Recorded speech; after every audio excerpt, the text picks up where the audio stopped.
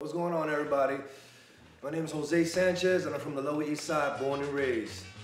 20 years ago, I decided that hair is my passion, here's what I want to do, here's what I'm going to do. Um, started because my mom couldn't afford to fucking give me a haircut, you know? And it's ironic because my mom went to beauty school.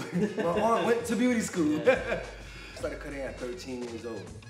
That's the first time I put a pair of clippers in these hands right here. I remember I was cutting hair in the lobby right 555, you know, all my boys busting them niggas open like, them cuts used to be what? The first job I got was at 15, and um, the first person who gave me the opportunity to work was uh, a man named Doug, Dougie Raw. He gave me the opportunity to work in a barbershop and to um, express my talent, to express my skills, and uh, that's what gave me the, the real green light, as you can see. I actually was a good student, I was definitely a good soldier, and um, now I'm a general, you know what I'm saying? Five star.